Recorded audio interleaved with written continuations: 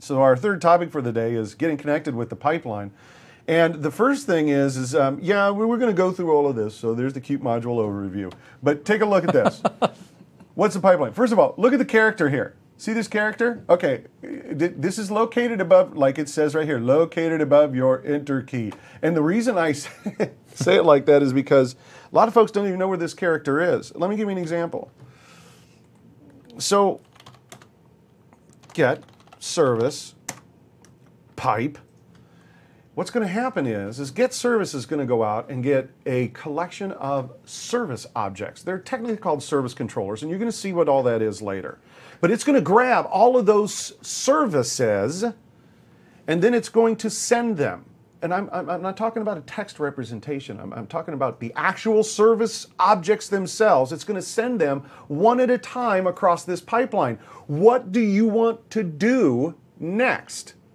to these services? Well, let's narrow this down a little bit. Let's just do the name bits. Take a look, it's running.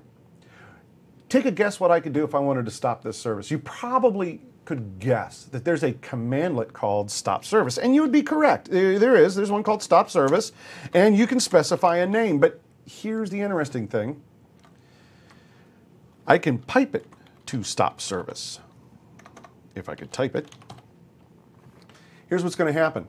We're going to take that bit service, we're going to send it across that pipeline. Stop service is going to grab hold of that and do exactly what it says it's going to do. It's going to stop the service. Now, we're going to talk a little bit later in more detail about how this pipeline works because it's crucially important in troubleshooting. But just take a look. Well, I wonder what it did. Well, let's run. Ah, it stopped it. Now I can pipe, and I could even say start service. And I'm going to use a pass through on here that'll show me the results of what I'm doing.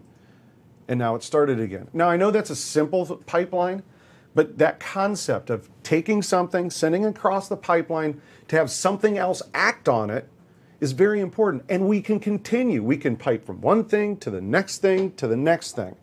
So, as an example, let's start out with a couple of cool things. Oh, hey, first of all, Jeffrey, what do you think? Uh, I just love to ask people this. Oh, don't be careful with the inner key. What do you think, Jeffrey? Is that going to do what I think it's going to do? Yeah, don't you want you don't want to do that. I know. Don't want to do that. Guys, we, we, we're going to show you the pipeline is very powerful. It can also allow you to make silly mistakes. So, It's worth pointing out PowerShell is a powerful tool, a powerful tool, like a really sharp knife. Um, if you, a really sharp knife, super super useful. Probably don't want to give it to your kids, right? Or or you want to pay, you know, you want to be thoughtful about this stuff. PowerShell, you can do some uh, damaging things, and so often we, you know, give you techniques to deal with that. But indeed, you know, don't Right. complain if, if if you say, oh well, geez, I removed all the files from my file system. Power, darn PowerShell.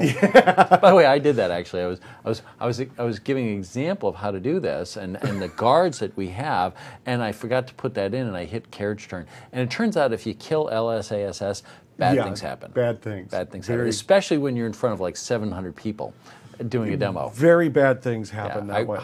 strongly not recommend. Because it. I've hit the enter on the get service, stop service, and it's just not cool. PowerShell doesn't ask you, are you sure?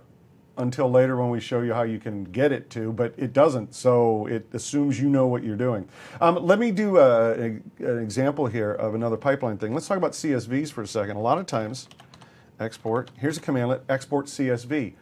Guess what export CSV is going to do? It's going to take this information and export it to a CSV.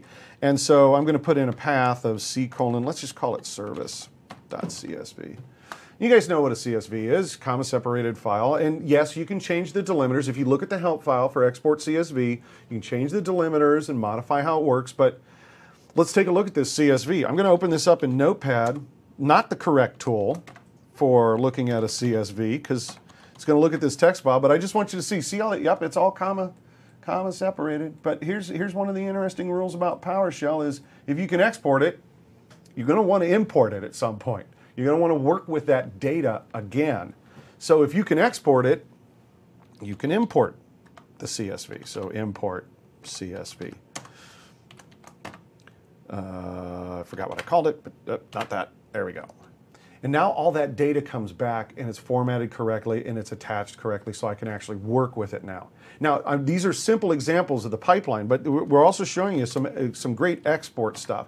So besides exporting, like to a CSV, there's my favorite. Oops. Command line XML. I love XML. XML is the greatest thing since the automation of sliced bread. Um, great example. You guys used to do online banking years ago. You'd go to the, uh, you buy something, swipe your credit card. Three days later, it would show up in your account. Today, you swipe it. When's it show up in your account? Just as it finishes swiping. It's XML, baby. It's XML. Um, so let's uh, export to XML. And here's what I'm going to do. Instead of doing uh, get service, I'm going to do get process. I like that. And I'm going to make a little, I'm going to pretend. I'm going to do this, call this good XML. I want you to pretend something for a second. I want you to pretend that I've just taken a snapshot of a perfectly running, a perfectly good running machine. Runs perfectly. And I've just snapshotted its processes. Now, if you blink your eyes, pretend for a moment that now I'm working on a non perfectly running machine. And what I'd like to do is, I'd like to compare the good machine to the non good machine. Yeah, imagine those instead of Notepad and Calc. Imagine that was some malware. Yeah, exactly. I'm just using Notepad and Calc. Now, the, the compare object, I'm just giving you an example of how the pipeline and how using commandlets um, can, can uh, be very useful to you. So I've got a reference object. Now, I want you to notice I'm going to use uh, parentheses. Uh, we're going to talk more about parentheticals, but this means do this first. And what I need to do is I need to import the, the good XML file that represents the good machine. And then I want to compare that to this currently running machine. Now, when you run get process, there's a lot of information that comes up. What I want is I just wanted to compare the names of the processes right now and see if there's a difference. So what I've done is I've exported uh, my process information with the pipeline, and now I'm just going to compare it. Notice the side indicator points to the bad machine and is saying, hey, look, Calc and Notepad are running on that and as opposed to what's on the good machine. This is an example of how you're going to start to be able to build commands with the pipeline to do something and then use other commands to achieve your results. Imagine comparing two machines the software that's installed on them and making you want to make one machine look just like another. So there's a lot of things that we can do with building a pipeline.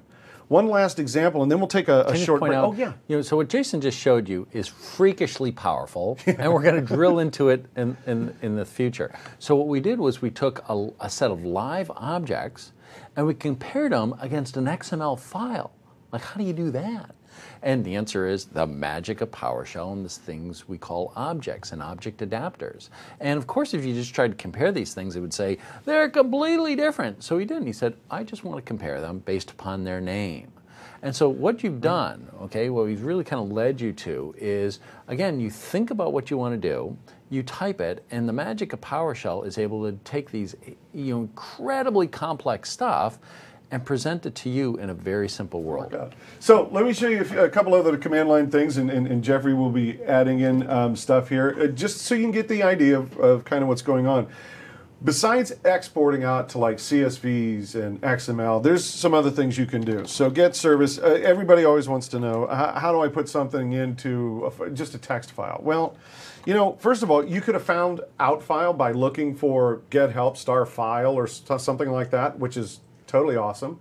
And you'll find out file. Out file has, if you look at the help file for it, wants you to give it a path, and um, and you give it a path to what you want to use as a uh, for your text file. So test.text, and you can get the content. Did I say get the content? You can get the content from a text file. You know, I wonder if there's anything that could help me with getting content from a text file. Oh, looky, get content. The help system, help system's your friend. So you can get the content from a text file by just using get content. And, I think I call that test.text. And there's all that get service content that I just put in a text file. But wait There's more. You can send stuff out to a printer, out to a printer, out printer, out printer. Hmm. So there's a set of things you could set it out to. There's. I wonder. I wonder how we could find a list of the things that we could send stuff out to. Yeah, no, you Oh. just out. Just- start with out. Start with out. Yeah. well, but here, look. There's a ton of stuff that we can send for out. Um, so again, the help file is your friend. Besides sending stuff out, there's also creative ways to do stuff. So get service. I love this. This is one of my favorite things. We also have convert to commandlets. Convert to CSV. Now this is going to make more sense later, but well, you, you just had an export CSV. Yeah, and we have a convert to CSV. The difference being for right now, when you do an export CSV, you're done. You're you're you're done. When you do a convert to CSV, we're going to leave that stuff in the pipeline in case you want to pipeline it and do other things to it. So, The way I think about it Yeah. is uh, export is convert coupled with output it to a file. yeah, I- I- excellent, excellent. Because if you do an export CSV, you have a mandatory where you have to send it to a file. So think of it as a convert with an out file already built right in. So we have the converts, but I want to show you one of my favorite ones. He, he, he, he, he.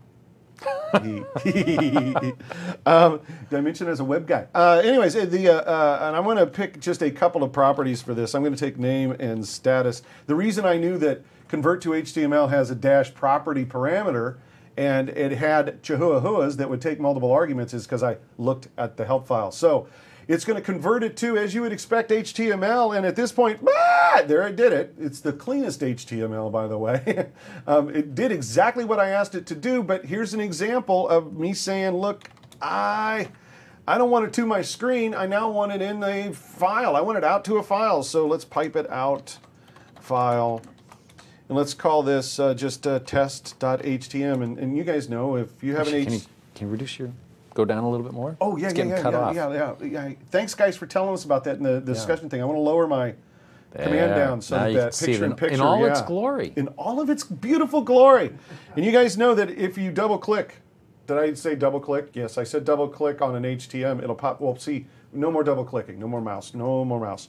So what I'm going to do is just say C colon test HTM, and PowerShell will launch it up there for me. Do do you get? I just made a web page. How many developers did that take? Uh, and if you look at the help for convert to HTML, you're going to find that you have a lot of options to make this pretty. Uh, there's a lot of ways to make this very pretty with tables and all kinds of using style sheets and so forth. So it pays to look at the help. But this is a good example of piping from one command to another to achieve a certain result. Um, so let's take a look at what else we got going. We got uh, to the web page, and you know these are just some examples of, of piping some stuff. Oh, we're going to have to talk about stuff that kills because we almost I almost screwed up earlier. Yeah. This is fun. This is fun. So let me and Jeffrey, you, you can help me out here with this Yeah, one yeah. because I'm going to get service, and I'm going to do stop service, and I want to know if this works or not. But seems kind of risky to me. Yeah. What can I do? When in trouble, fear or doubt, run in circles, scream and shout. so no, that's what they used to teach. Okay, you. That's, what, that's what they used to teach kids at Boy Scouts when, when you go on a trip. Oh, So no, here's the thing. When you're ever so, I once dealt with an admin who said, you know, every now and again I'm uh, you know, it's late and doing something, and I realize I'm about to hit the carriage return or enter key, and I realize if I get it wrong, like that's the end. Right, I'm I, I'm going to be fired. Muffy and Buffy are not going to go to college. it's just going to be bad. It's gonna be And I thought to myself, boy, what are we doing that we create an environment where somebody that's the world that they have to live with? And so in PowerShell, if you ever have something that you're uncertain of, you can always type minus what if. Like, what if I did this? What would actually happen? And you would get, dun, dun, dun, dun. And it tells you what it would do, but it doesn't actually do it. Now, the, the, the best part is that it tells you what it would do, but it didn't actually do it. And if you look at my screen, it says, yep, I would have stopped these services. Now, if you're thinking to yourself that, oh, well, this is a nice, fast way to shut down my computer, uh, no, no, no, no, no, no. this is going to blue screen way before it gets shut down. So, well, it won't blue screen, but it's going to stop somewhere around PowerShell service host somewhere in there. It's Muffy and it. Buffy would not be going to college Yeah, after this no- one. So you're not going to want to do that. But something to keep in mind, we also, besides what if, and I use what if all the time because, you know, things can be dangerous that you're trying out. We also have dash confirm. And dash confirm is a what if with do you actually want to do this? Now, I'm obviously not going to say yes to anything and certainly not yes to all. So let's just, I'm going to put my finger on the L right now so that it, nothing happens. But I want you to notice it is showing you both what it will do and then asking you, do you want me to do this? So people ask all the time, PowerShell doesn't ask me, are you sure? Yeah, because PowerShell's not for sissies. But sometimes you need that capability. So I'm going to hit L. and please don't don't actually do anything. yeah, that'd be good. Hey, can I show him something? Yeah. Okay, so remember, so at some level, this isn't that interesting, right? Get service, pipe to stop service, right?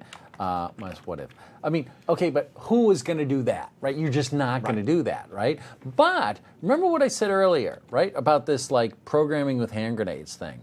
What I said was, okay, so let's see, there's this bits thing, and I, I don't remember what the heck it was. So what I'm going to say is display name, something to do with bits and uh, or maybe it was something to do with BI, right? And then and then stop service service. Now, did I get that one right? Now this is the more realistic thing. Did I get that one right? Because maybe BI star maps to BIP service, and maybe it doesn't. So what you do here is you say what if, and you're like, Yeah. oh, oh, oh, oh, no, good thing I didn't do that. Now, at this point, you could go and say, well, okay, well, why did that match? Oh, I see biometric, and then, oh, I see compatibility. Ability. Now, if you wanted to, you could go in here and try and like tweak this thing, right? And, and do this. But instead, you can just say, no, you know what? It's close enough. Confirm. And you say, BitLocker, yep, that's the one I want to do it to. So you, you stop that. And then this one, you say, no, that was the only one. So you say, uh, no to the rest. And now I've stopped GSVBI. Oh, oh, oh, oh, I got the wrong one. Oh, you know what? I shouldn't have stopped BitLocker. That was a bad thing. Yeah, I think that might have been. well, great example of a practical use of dash confirm. I'm no, now, that's perfect. I'm, I'm now out of compliance with corporate policy. there you are. These, these doors might come bursting, Bursting open. open. Well, So let's, hopefully let's they, that. they, they will not burst open. So, guys, this is our first introduction to the pipeline. We're going to go much deeper into this pipeline, but the concept Safe. again is you have a commandlet. You're going to pipe the results of that commandlet to the next one. So, do this, then do this, then do this, then do this until your needs are done. And what you're going to notice is as we go through this and you get more and more commandlets, you're going to see that the way you're thinking about the, solving the problem is the way that you'll actually be building the commands in the pipeline. Now, you don't have to do everything as a one liner, and one liners are great, and we're going to do a lot of them in here. But we're also going to do scripting, where you know a one liner is you know when it's when it's half the page, you're probably a little out of control at that point. but you can is the idea. Now, before we go too much further into the pipeline, Jeffrey, let's let's do this. Uh, you know, uh, I've got a slide here, so let me show everybody where we're at. So, guys, again, make sure you're asking questions, all that kind of stuff, and, and uh, for all the people out in the support, the MVPs, and everybody who's contributing, thank you so much for helping us out and answering all of these questions uh, that are out there. Um, let's go into um, extending the shell a little bit, and there's I- this is a fascinating conversation for me because. I can't remember the exact number, but I think when PowerShell 1.0 came out, I think there was like 192 commandlets.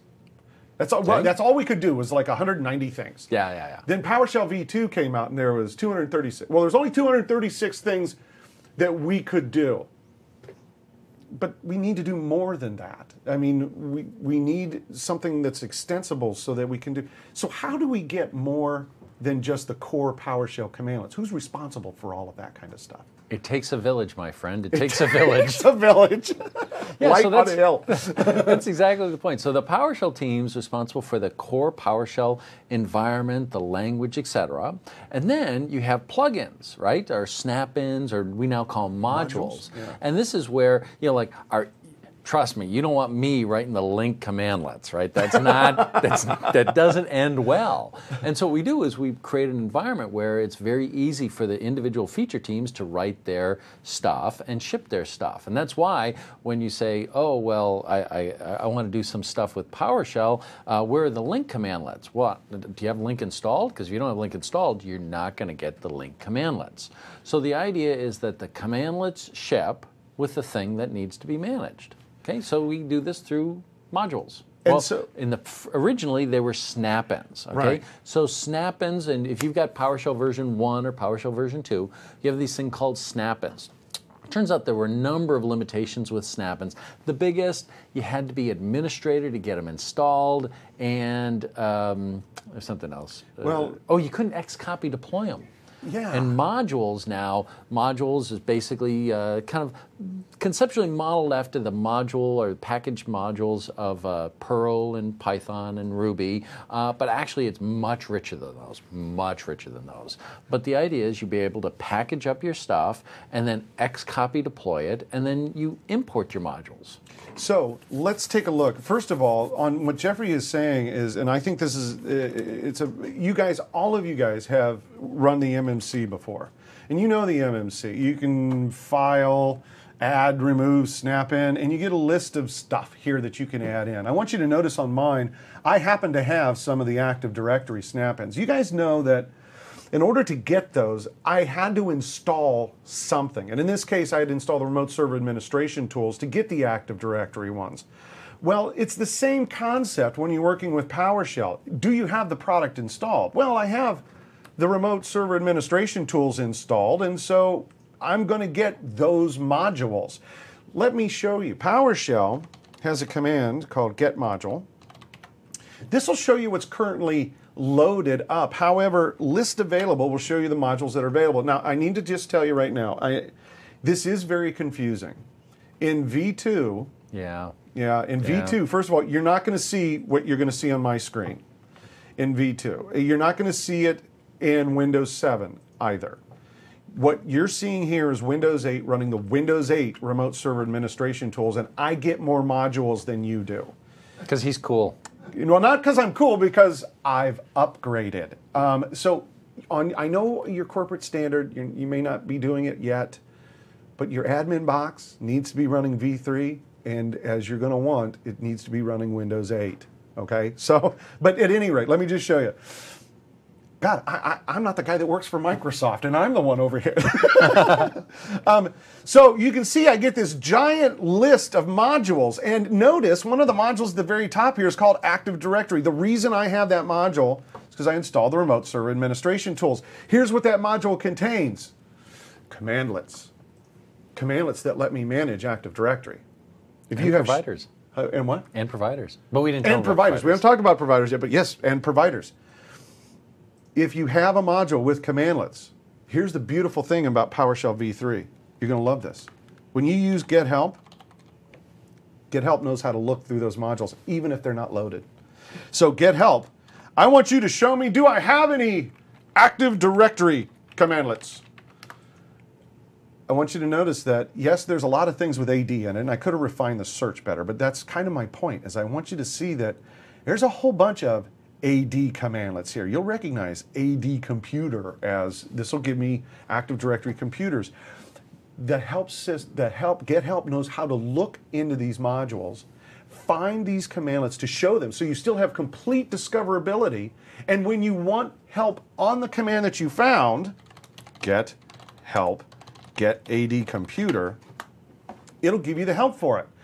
When you try to use the commandlet, this is one of the biggest features for me personally in V3 is when you try to use the commandlet, and I think I may have used this one earlier, so you may not see it flash on my screen, but take a look.